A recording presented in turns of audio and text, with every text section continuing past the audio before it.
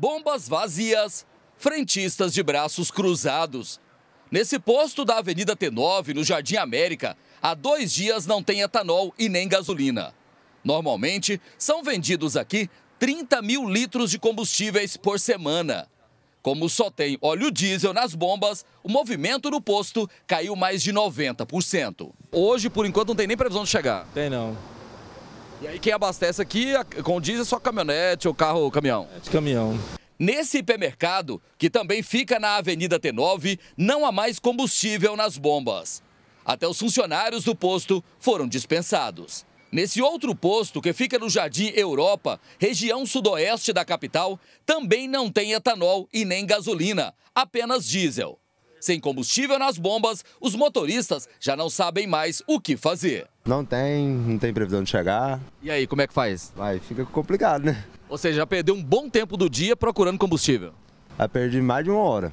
Tá meio, meio complicado, viu? Mas tá tendo ainda alguma coisa ou já tá na reserva? Tá com a luzinha acesa, tá na reserva. Já acendeu a reserva? Acendeu a reserva.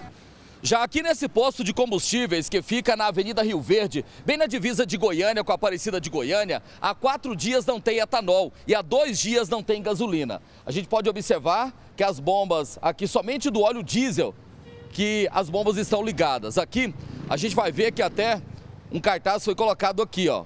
Estamos sem etanol e gasolina, não tem. Aqui também, nas outras bombas aqui, tem a placa também é, indicando que não há etanol, não há gasolina.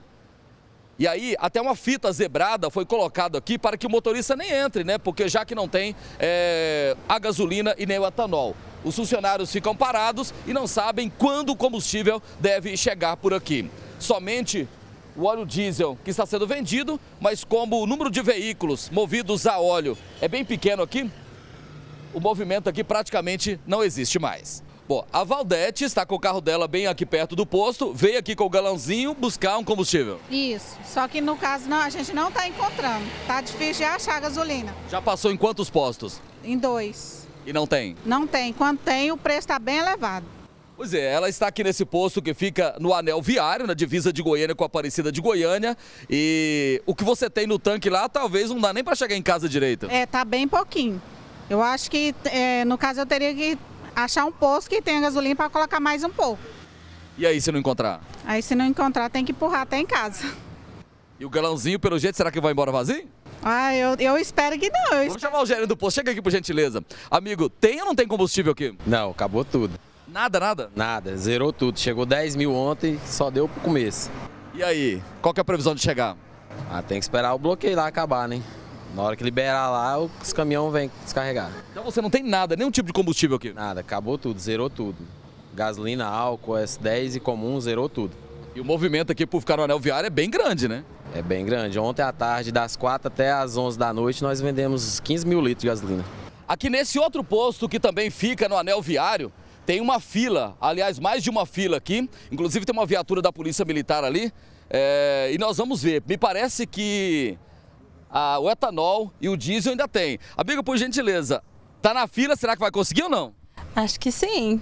Já passou em outros postos? Já, não tem gasolina não. Quantos postos você passou? Há uns oito já. Oito postos? Oito. E não tem? Só esse daqui que tá tendo. Mas será que quando você chegar lá na frente, tem vários carros na sua frente, será que vai sobrar para você? Ah, não sei, vamos, estamos com a esperança. Vamos torcer, né? Torcer agora para conseguir etanol, que só que tá tendo etanol.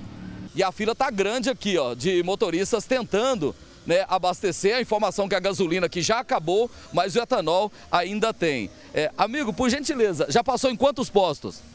Há uns três, quatro, nenhum tem, só aqui. Gasolina aqui que já acabou. Já, agora é só álcool. Será que vai sobrar para você? Ah, o problema é que eles estão enchendo tambor e ó, vem com os porta-mala, eles abrem o porta-mala, eu acho que deveria ir só pro carro.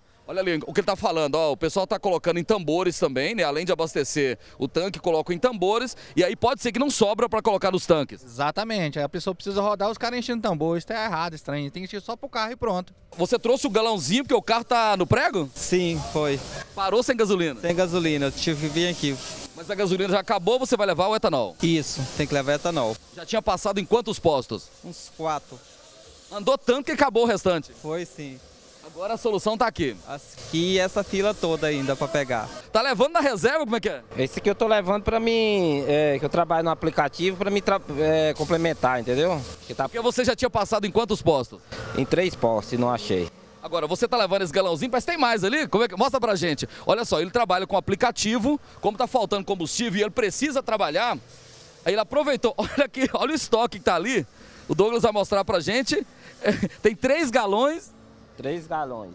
pelo menos tá garantido pra trabalhar no feriado. Vou trabalhar no feriado pra ganhar uma grana extra. Porque se não tiver um estoquezinho, vai ficar no prego também. Isso. Bom, nós encontramos com você agora há pouco ali buscando o galãozinho. Tá improvisando agora. Sim, tô improvisando agora pra colocar aqui pra ir embora. E olha só a que ponto chega, né? Você já estava passando em vários postos, não achava o combustível. Sim, não achei.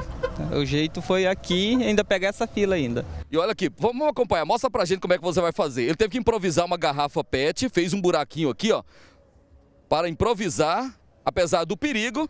É assim que tá se virando. Sim, tem que se virar assim.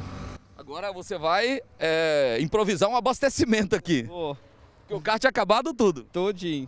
Aí. Agora, esse combustível vai dar pra você rodar quanto tempo ainda? Pouco tempo. Pra ver se acha outro posto pra colocar mais ainda, porque aqui não tem, tá acabando. Amigo, o seu carro deu prego, veio com o galãozinho, Nada. Zerado. já tinha passado em vários postos Vários postos. e nada. Inclusive abasteci ontem, gasolina de péssima qualidade. Amigo, e aí, a- tem gasolina aqui ou não? Não, não, tem nem gasolina nem álcool. Só diesel, um pouco de. Só diesel. Só um pouco também. Bom, e agora fazer o quê? Agora perder a audiência, provavelmente processo também, né? Porque não tem combustível. Porque não tem combustível. Amigo, tá procurando combustível? Ah, Eloás, tô procurando combustível aqui, mas tá difícil demais. Passou em quantos postos? Passei em quatro postos aqui pra baixo na Vila Alzira aí, até agora Da nada. Vila de Aparecida. Tô vindo lá de Aparecida e nada de gasolina aqui, ué. E aí, já tá na reserva? Já tá na reserva, eu tô com medo de ficar no meio da rua aqui, ué. Então, Já tá, a luz já acendeu. Já tá piscando e o dinheiro no bolso e não tem petróleo. E aí, como é que vai fazer? Passar o feriado em casa? É, né, tem que guardar o carro e ficar quieto dentro de casa assistindo televisão. Aqui nesse posto, na Avenida São Paulo, em Aparecida de Goiânia, o etanol já acabou, tem gasolina e diesel. Né, a gente vê, e olha o tamanho da fila aqui para abastecer com gasolina. De fora a fora são pessoas buscando combustível. Tem uma fila aqui desse lado, a carros, motos também. Tem essa segunda fila, tem essa terceira fila aqui que desce pela Avenida São Paulo, né, de pessoas ainda tentando encontrar aqui o combustível. Meu amigo, você tá com dois galões aí. O que, que é isso? Dois Vai mesmo. levar combustível pra quem? O meu carro. Tá, tá parado? Tá parado. Tá na estrada? Não, tá em casa. Sem combustível. Sem combustível. Aí você veio de moto pra buscar. Dois galões. Será que vai sobrar pra você? Ah, acredito que sim. E a crise da falta de combustíveis, né, acaba gerando muitas situações como a do André. Ele mora em Aparecida de Goiânia, mas o carro dele tá sem combustível lá no setor marista em Goiânia, foi isso? Isso, tive que deixar o carro lá para vir buscar gasolina aqui, porque acabou a hora que eu fui levar minha esposa. Aí o que acontece? Ele foi levar a esposa dele, o carro tá sem combustível, procurou vários postos lá em Goiânia, no setor marista. O carro dele tá lá e ele veio nesse posto que fica aqui na Avenida São Paulo. E aqui estão os dois galões. Ele conseguiu aqui colocar gasolina nesses dois galões em Aparecida e está esperando um motorista de aplicativo para que ele possa voltar para Goiânia para colocar combustível no carro. Exatamente.